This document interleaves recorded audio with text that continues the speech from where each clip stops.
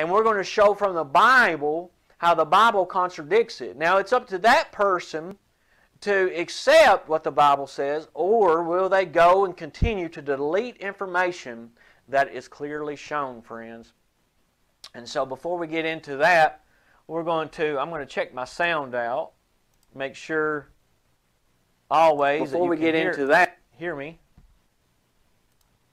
Because I have been known to continue to talk even with my mic not working. Doesn't do too well. And so, in addition, if you believe something to be true, you will go throughout your life searching for information that supports that belief.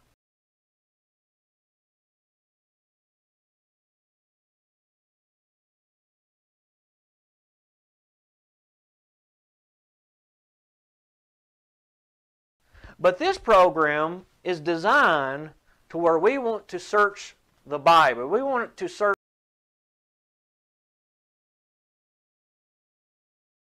the Scriptures. We want to be like the noble Bereans in Acts 17, uh, uh, verse 11, that searched the Scriptures to see if those things are so.